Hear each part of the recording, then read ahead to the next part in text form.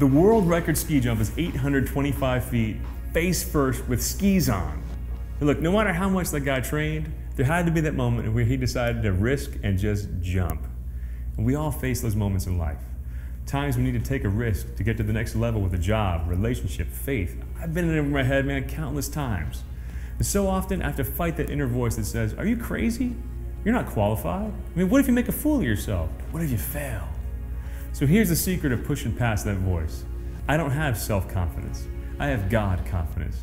The only thing that enables me to take risks is when I get into the mindset of a Christian and don't care what people think of me if I fail because I'm too busy thinking of what God thinks of me. And then I'm ready to jump.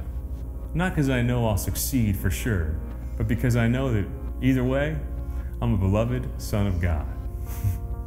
and you can't lose that way.